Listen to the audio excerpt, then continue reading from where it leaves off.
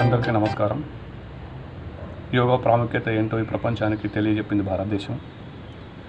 నేను ప్రత్యేకంగా చెప్పాల్సింది ఏం లేదు. నాకంటూ ఒక చిన్న ప్రత్యేకత ఏంటంటే చిన్న చిన్న వీడియోల ద్వారా చిన్న చిన్న ఆసనాలు ప్రాణాయామం చెప్పాలని నిర్ణయించుకున్నా ఇది మన ఆరోగ్యానికి ఎంతో బాగుంటుంది. అయితే ముందుగా నేను ప్రాణాయామం గురించి చెప్పాలనుకున్న ఐదు రకాల ప్రాణాయామాలు చెప్తాను. ఒకటి కపాలభాతి. రెండు భస్త్రిక మూడు అనులోమ విలోమ నాలుగు భ్రామరి ఐదు ఓంకారం. ఈ ఐదు కనుక రోజు అరగంట స్పెండ్ చేసి మన కోసం ఐదు కనుక మనం ఆచరిస్తే మన ఆరోగ్యం బాగుంటుంది. ఆ రోజంతా మనం యాక్టివ్గా ఉంటాం.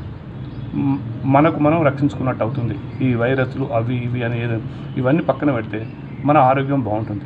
అయితే ఏదైనా నేను ఒక్క నిమిషం కంటే ఎక్కువ చెప్పదలుచుకోలేదు. అయితే ఇక్కడ ఇంకోటి ఇంపార్టెంట్ ఏంటంటే మంచి గాలి ధారాళంగా వచ్చే ప్రదేశాన్ని ఎన్నుకోవాలి?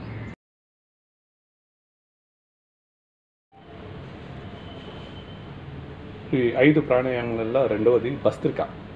ఈ భస్త్రిక కూడా ప్రశాంతమైన వాతావరణం కూర్చున్నాను.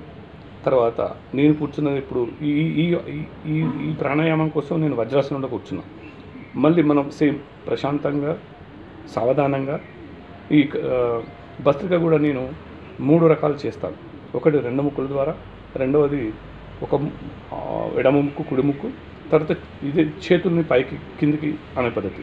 సో ముందుగా మనం స్లోగా స్టార్ట్ చేయాలి కాబట్టి రెండు ముక్కులతో స్టార్ట్ చేస్తున్నాం.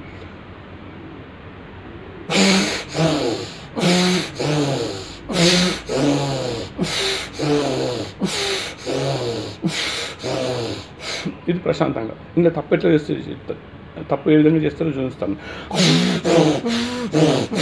ఇది. అంటే ఇది ఒక టెన్షన్తో చేస్తున్నాను అన్నట్టు. అలా కాకుండా ప్రశాంతంగా.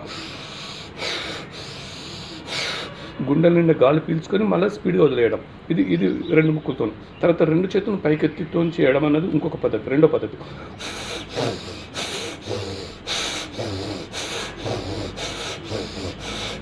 ఇది రెండో పద్ధతి అయిపోయింది. ఇంకా లాస్ట్కి మూడో పద్ధతి ఉంది. మూడో పద్ధతి ఎడమ ముక్కు కూడి ముక్కు.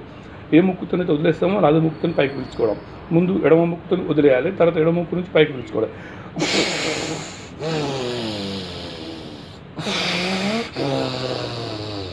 ఇట్లా ఎడమ ముక్కుతో వదిలేసి ఎడమ ముక్కుతో పైకి పిలుచుకొని మళ్ళీ కుడి ముక్కుతో వదిలేసి కుడి ముక్కుతో పది పదికి వదలడం.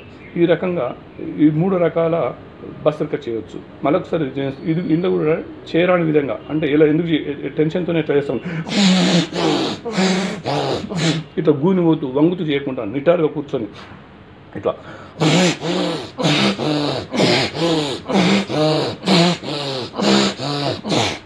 ఈ ఈ మూడు రకాల భస్త్రిక కనుక చేస్తే ప్రతిరోజు మనం మన బాడీ యాక్టివ్గా ఉంటూ మన దైనందిన కార్యక్రమాల్లో ఏ రోగము రాకుండా మనల్ని మనం కాపాడుకున్నట్టు అవుతుంది. ఇది భస్త్రిక